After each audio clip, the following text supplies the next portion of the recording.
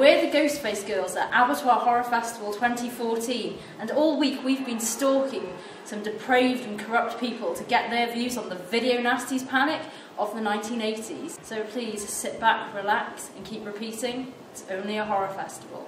Only a horror festival. Well, video nasties, I have to say, grew up in Australia until like 1993, so I sort of missed the whole thing. But one of my friends totally did not miss the whole thing, and he's introduced me to all of them since then. The Beast in Heat is one of his personal favourites. Freaking awesome! I mean, I was around about 11 or 12 years old when all that was kicking off, and it was on the BBC News. Um, However, I hadn't seen any of the video nasties, um, but I was always mesmerised by video shops, the backstreet video shops, and the the adverts, the gruesome covers, the pulpy covers, and stuff like that. Uh, because I didn't have a, a, video recorder, I used to cross-reference the, the, the titles to horror film books or paperback novels and stuff like that. I was about 21 when the act came out, so for a couple of years I've been able to hire the uh, 18 films legitimately from uh, the video shops, and it was something that me and my mates were into. Um, having a look at all the gore effects uh, on the gossip mill, and obviously, you know, um, the big clunky top-loading video recorders, we could actually see them at home.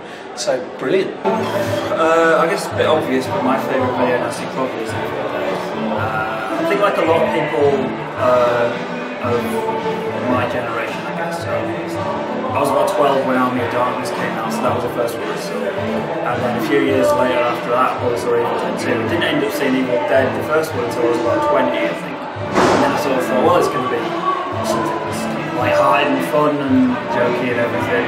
And I watched it and I like, shit, that's a bit, that's a bit much actually, isn't it? I'm a bit too young to have any real memories of the video nasty, but I do remember that we had a, a, video shop in my local village, and it was a tiny village, and it had the shop, and I always used to like to go there. And I believe they might have got raided. I'm not sure if it's an urban legend because we get a lot of those when it comes to video nasties. Uh, having revisited them, I think the standout of all of them is The Evil Dead because it's gone on to inspire so many more others. But I also love Zombie Flesh Eaters as well. I think it's a great film. I guess for the whole video nasties thing, it is a fascinating episode from history. I think uh, there's part of me that frankly has kind of had enough. There's been an awful lot of material on there, so I was glad to see that Abertoir were doing it just because I knew they'd do it right, and they did. Um, a few very good films uh, suppressed, a lot of awful shit that really did deserve to, to sink without trace has now got a sort of iconic status it really doesn't deserve. Uh, my favourite video nasty, even though it probably doesn't even classify as a video nasty, might as well, uh, is a movie called Alligator from 1980, which was my favourite ever VHS that I think I conned my mum into getting for me when I was about 10. It's got Robert Forster in it, and it stars a gigantic alligator, I think in San Francisco, that grows, it gets flushed down the toilet as a baby and grows into, you know, a colossal thing, and then eats a whole bunch of people at a wedding, uh, and gets blown up at the end. I was born in 1989, so I didn't actually catch the video nasty period, but I learned so much about it from Jake West documentaries that are really insightful. And my favourite video nasty probably has to be The Burning, because I'm a slasher fan, camping slash a fan. I love all the Friday the 13th, sleepaway camps, all of that. And um, I thought The Burning was really interesting because it was kind of similar to those films. Those didn't get banned, but that one did, and it's for one specific scene. So I thought that was pretty interesting. I was born in 1985, so um, just slightly after the original BNS But I can kind of remember when it all got rehashed with the Bulger uh, case and Child's Play 3. And you can remember all the, the horrid headlines. Uh, well, I love Cannibal Holocaust because uh, I like watching graphic scenes of uh, torture, uh, horrific sex.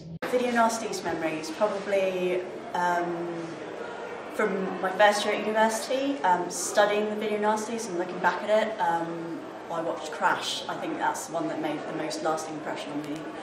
Um, the scenes are particularly harrowing in there in terms of um, the fast-paced nature of like the rape scenes and everything like that. I think that's probably something that stays with you. nasties for a reason. Like half of them, let's face it, shouldn't have been banned because they were like horrific and like raping our children's minds. They should have been banned because they were so fucking bad as films. But so entertaining to watch now. Oh, video, video nasties. Always really bad concepts, but even worse acting. yes, the acting skills. Love the acting skills in video nasties. But the ones which stick out would be Craven's Last House on the Left. I think that's a seminal film, I really do, from 1972. Um, but there's also many other pre-certificate films which are absolutely fantastic, awesome.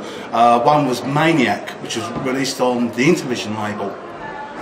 Now, Maniac had every scene, every Tom Savini gore scene cut out. Um, but despite that, it was still a really, really powerful film, and it predates later stuff like Henry Portrait of a Serial Killer. So, at the uh, pre-certificate era, Maniac and stuff like uh, Island of Living Horror, Amazing Mr. No Legs, E.T. Nasty. That's a story in itself. It really is. I grew up uh, in the video nasty era, so I do have quite a lot of fondness for that period in history. Uh, well, that is until they suddenly decided that they should start banning these movies, and then never got to see most of them for years. Um, I do remember going to the video shop, and the local one did seem to have most, if not all, of the titles that ended up on the ban list. Um, it was just a, a completely new experience to go in there and see the cover artwork for things like Cannibal Holocaust and some of the Fulci movies like The Beyond, And House by the Cemetery. Although it's not technically a nasty Texas Chainsaw Massacre, there's, I still find that confusing that Texas Chainsaw Massacre wasn't a nasty. Because you've got films that got banned for having names that sounded like Texas Chainsaw Massacre, yet Texas Chainsaw Massacre didn't get banned. Video Nasties itself, I've heard about it off much from my dad and stuff, but it's actually nice to see, you know, like what happened in those times, the other people involved and all the other bits and pieces, and people were there as well. Well, the story of E.T. Nasty was in the playground. All the kids were talking about this film called E.T. Nasty, and obviously, as you know, E.T. wasn't out on video at the time. But there's all these hush whispers about E.T. Nasty, and they're saying absolutely obscene things like E.T. grows a penis and has it off of Elliott's mum and pulls Elliott's head off. There's all these school kids, schoolboys, rumours about this this film. Anyway, me and my mate, we, we would take it in turns to rent horror videos, and we found this this backstreet video club run by this mad guy, and there on the shelf was 18 Nasty, and the cover art is just like the uh, the Spielberg film, and I'm saying that film, that's one of the nasties, that's got banned, this is terrible, look at the big certificate X on it and so on, and we rented it, we took it home, made sure everyone was out, and it was a 1960s beach monster and bikini movie. And also, I think there's a certain, I mean, I hope one of the things that came out of my talk was there's a certain blindness to what was actually going on there, the, uh, the issues of censorship, the issues of free speech, which are still with us. And it's become this kind of brand, this kind of, there are now lots of documentaries, articles. It's all become a bit cuddly because most films, frankly, are hardly dangerous or scary.